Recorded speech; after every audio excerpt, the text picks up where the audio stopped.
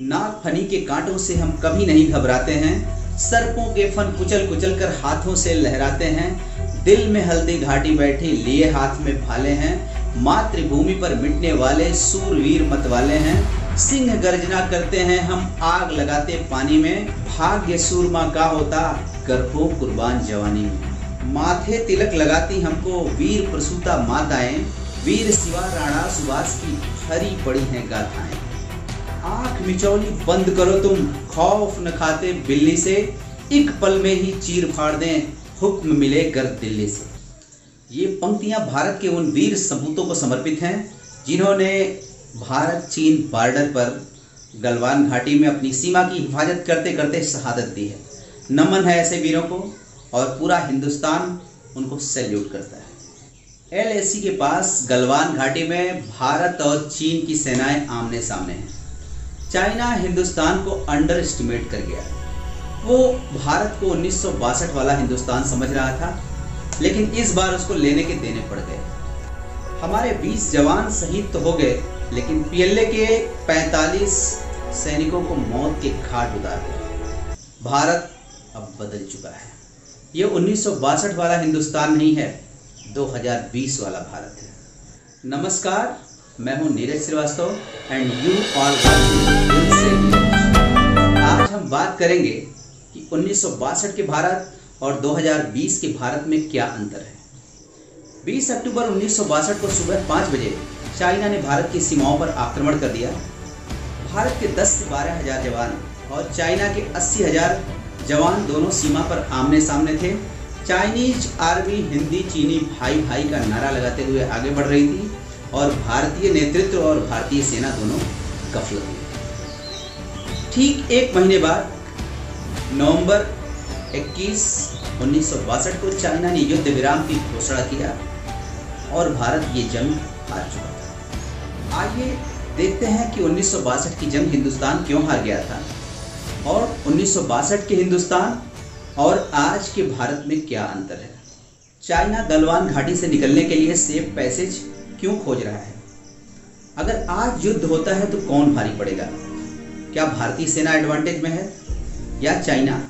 चाहे युद्ध काल हो अथवा शांति काल। इंटेलिजेंस का बहुत बड़ा रोल होता है शांति स्थापना। में उन्नीस की जंग में lieutenant general S P P Thorat ने दिल्ली के शीर्ष नेतृत्व को चाइना की तरफ़ से बढ़ रहे खतरे की तरफ़ इशारा किया था। अपनी एक रिपोर्ट भेजी थी कि चाइना सीना सीमा पर तनाव बढ़ा रहा है। लेकिन उस वक्त दिल्ली के शीर्ष नेतृत्व ने उनकी बातों पर कोई ध्यान नहीं दिया था। आज के हालात, उन्नीस सौ बासठ के हालात अलग हैं। भारत ज़ीरो टॉलरेंस की नीति अपना रहा है।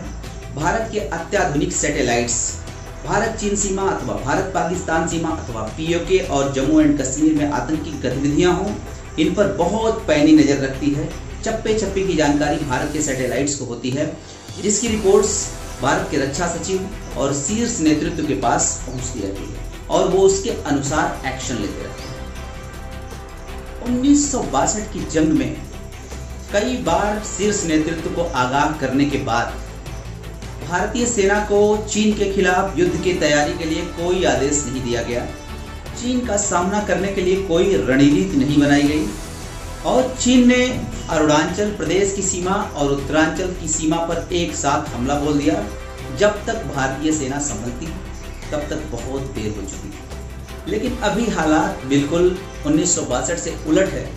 सन 2016 से ही भारत और चीन की अरुणाचल सीमा पर युद्धक टैंक तैनात करने के आदेश दे दिए गए थे। सुपरसोनिक क्रूज मिसाइल ब्रह्मोस की तैनाती अरुणाचल और चीन की सीमा पर हो चुकी है। इस बार भारत की सेना सीमा पर अत्याधुनिक हथियारों का जमावड़ा कर चुकी है। सड़कों का जाल और इंफ्रास्ट्रक्चर का निर्माण कर लिया गया है। तो उन्नीस सौ बासठ से और आज के भारत में बहुत अंतर आ चुका है। एक्सपर्ट्स की नज़र में उन्नीस सौ बासठ की पराजय में एक प्रमुख कारण ये भी रहा है कि भारत के शीर्ष नेतृत्व ने वायुसेना इस्तेमाल नहीं की। अगर उस समय के शीर्ष नेतृत्व ने वायुसेना का इस्तेमाल किया होता तो आज हालात कुछ और ही होते वायुसेना का उस समय इस्तेमाल सिर्फ़ सैनिकों के पास तक रसद पहुँचाने के लिए किया गया, युद्ध में नहीं किया गया, जो कि भारत की हार का एक प्रमुख कारण रहा, क्योंकि उस समय भारत की वायुसेना एडवांटेज में थी। चाइना हमसे वायुसेना के मामले में काफ़ी पीछे था, यानी उनके पास उतने अत्याधुनिक एयरक्राफ्ट नहीं थे जितने हमारे पास थे। वो हर मौसम में उड़ान भर सकते थे और ज़्यादा पेलोड ले जाने की क्षमता। चाइना थर्ड जनरेशन के एयरक्राफ्ट यूज़ करता है, जबकि हिंदुस्तान फोर्थ जनरेशन के एयरक्राफ्ट यूज़ करता है। भारत का सुखोई 30 एम चाइना के सुखोई 27 पर भारी पड़ेगा। सुखोई 30 एम एक साथ 20 लक्ष्यों को भेज सकता है। इसी तरह से मिराज 2000 और राफेल के आ जाने से भारतीय वायुसेना की ताकत बढ़ी है और चाइना के जे टेन जे इलेवन पे ये हमारे विमान काफ़ी आगे हैं उनसे, काफ़ी उन्नत किस्म के हैं। अभिनंदन का मिग 29 से पाकिस्तान के एफ़ 16 को मार गिराना, ये बहुत बड़ा उदाहरण है। जो ये साबित करता है कि भारत की वायुसेना और उनके पायलट्स दुनिया में नंबर वन है। चाइना अपनी भौगोलिक स्थिति और ऊँची पहाड़ियों पर हवाई पट्टी होने की वजह से अपने क्षमता का आधा पे लोड ही ले जा सकता है और आधे ईंधन के साथ ही वो उड़ान भर सकता है। भारतीय वायुसेना चिनूक और अपाचे जैसे अत्याधुनिक हेलीकॉप्टर्स का यूज़ करती है। सी सेवनटीन ग्लोब मास्टर जैसा विमान जो सेना के साजो सामान को ले जाकर दौलत बेग ओल्डी सेक्टर में उतरकर उसने इतिहास रच दिया था। इन चीज़ों से भारतीय वायुसेना काफ़ी एडवांटेज में है। एक रिपोर्ट के अनुसार भारतीय थल सेना, चीन की थल सेना से कई मायनों में काफ़ी आगे है, काफ़ी बेहतर स्थिति में है। भारतीय सेना के पास युद्धों का अपार अनुभव है। उन्नीस सौ बासठ, उन्नीस सौ पैंसठ, उन्नीस सौ इकहत्तर, कारगिल वार और हाल ही में सर्जिकल स्ट्राइक्स। ये जो अनुभव है, भारतीय सेना को चाइनीज़ आर्मी के ऊपर बढ़त प्रदान करता है।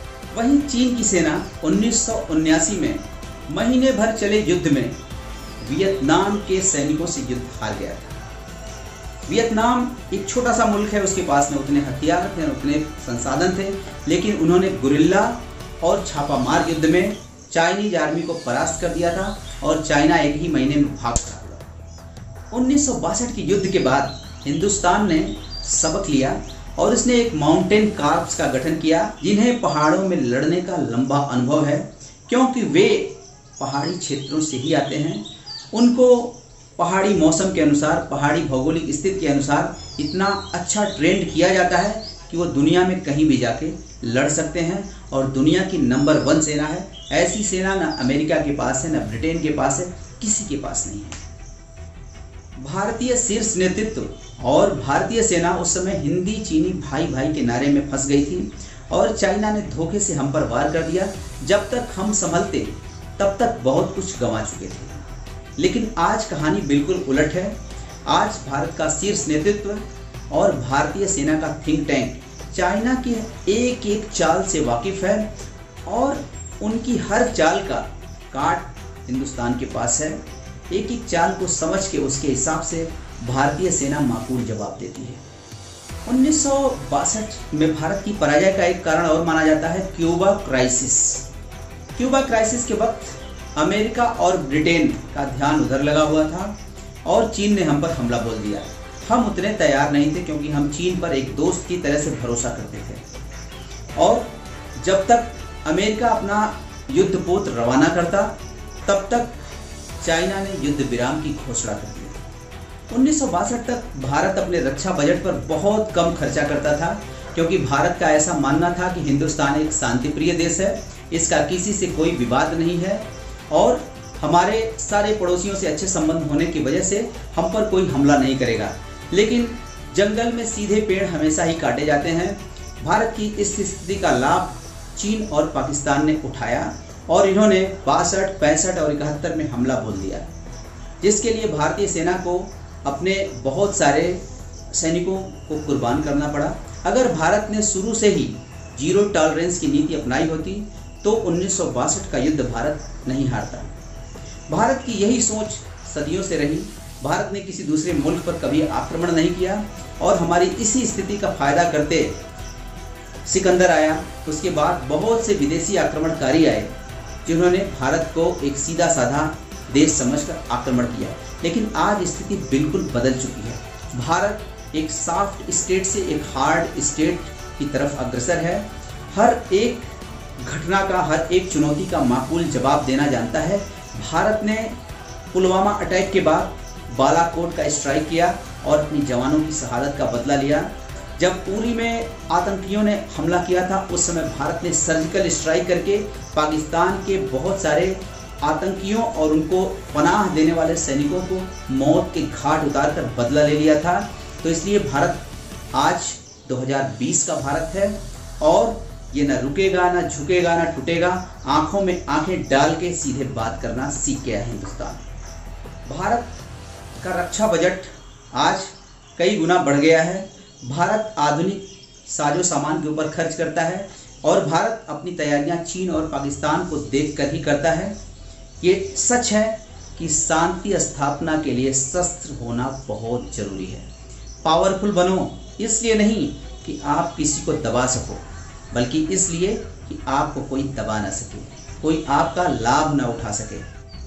वीडियो अगर पसंद आई हो तो कृपया इसे लाइक कर दें, शेयर कर दीजिए और हमारे चैनल दिल से नीरज को सब्सक्राइब कर दीजिए। ऐसी बहुत सी अच्छी अच्छी वीडियोज़ हम बनाते हैं और आपके लिए लेकर आते हैं।